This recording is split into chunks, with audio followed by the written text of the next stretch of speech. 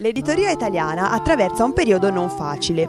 Molte testate sono costrette a ridurre gli organici, altre a chiudere. Nemmeno i grandi gruppi sono al riparo dai rischi legati alla crisi economica.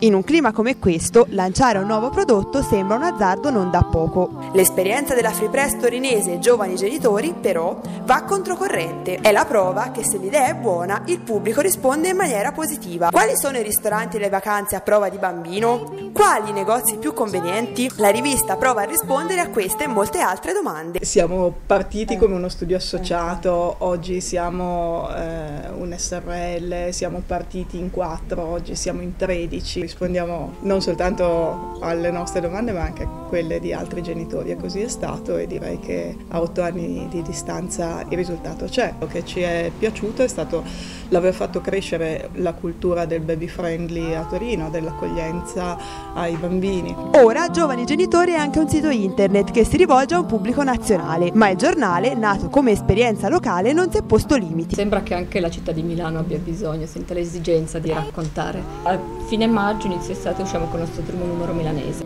Ma quali sono gli ingredienti del successo? Essere una struttura snella, essere una struttura eh, capace di rispondere velocemente alle esigenze del mercato. La cosa che più eh, di tutti aiuta è il fatto che siamo molto donne qua dentro. Da noi c'è la giornalista che sa usare il trapano per attaccare uno scaffale a una parete.